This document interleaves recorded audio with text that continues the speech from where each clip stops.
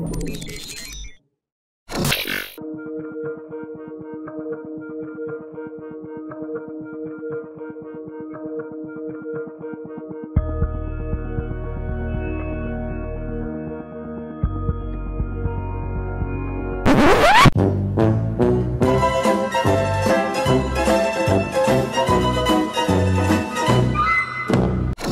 back, I'm Dronetek, and today we're going to take a look at this brutal carjacking and murder that occurred over the weekend in Washington, D.C.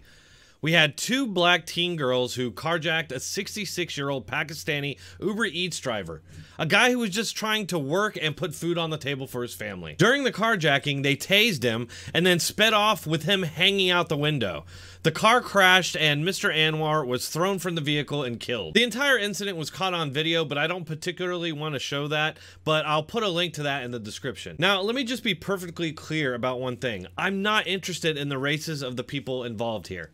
But unfortunately, the Democrat Party state media has made skin color the focus of all crimes that they choose to cover. This is a story they couldn't avoid, and you know that they couldn't be upfront and honest about the details, so predictably, deception is the word of the day. But before we get into this, let me quickly tell you about this new free offer for my viewers. One of the first commitments made by the new administration is the $2 trillion spending on environmental concerns. With renewables like solar panels, wind turbines, and even batteries for electronic vehicles, the use of silver will soar. But of course, we don't have enough silver to cover the demand. They said it would take 5.62 million tons of silver to meet all our energy needs. The world's current known official silver reserves that can be assumed to be recoverable from mines is estimated to be less than 600,000 tons. And that is good for investors and the price of silver. If you're thinking of an IRA or a 401k, now is the time to look at silver. And this month, with every gold or silver IRA,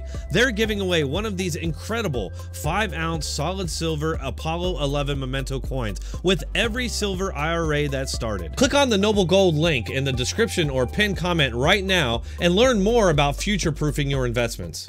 Auto theft is a crime of opportunity. Follow these steps to reduce the risk of your vehicle becoming a target. Remember the motto protect your auto. Are you fucking kidding me? This is the mayor of Washington, D.C., blaming the victim of this heinous crime for apparently not reducing his risk and becoming a target. Because, you know, these things just happen. I guess you couldn't think of any mind warping mental gymnastics to blame white supremacy, so blaming the victim was the next best thing. This shit show doesn't stop here, folks. CNN did their part on Twitter, dismissing the murder as an accident. Police said the girls, 13 and 15, assaulted an Uber Eats driver with a taser while carjacking him, which led to an accident in which he was fatally injured. An accident? Which accident was that? Where the girls carjacked the old man?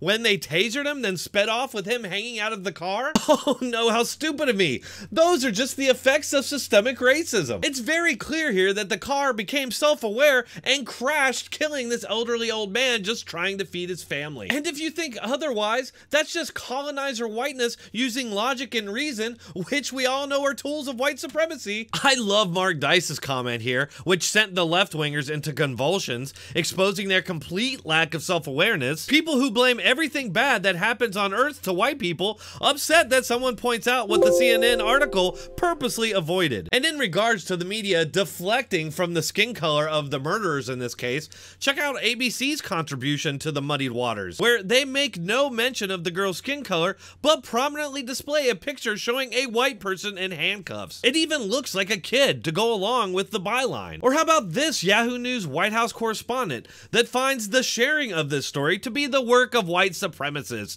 saying, quote, There's a lot of far-right commentators sharing this horrific story and highlighting the fact that the perpetrators were black. But there are also more mainstream conservatives sharing this story, including from outlets like the Daily Caller and the GOP operatives. In some cases, they're copying videos taken directly from far-right, explicitly racist voices, including the popular Gab and Telegram accounts. Anyone who truly thought Anwar's life mattered would not use his death to make strawman arguments in some related political argument? I mean, really? This is literally what they do with every single police shooting of a black person, while always ignoring when it happens to a white person. Okay, I'm sure there are lots more examples of this victim blaming and attempts to deflect, but since I'm banned from Twitter, it's kind of hard for me to find. Feel free to post some examples in the comments or in the community post I made on this topic. That's all for this one. Thanks for watching. Make sure to hit that like button, and I'll see you all for tomorrow's video.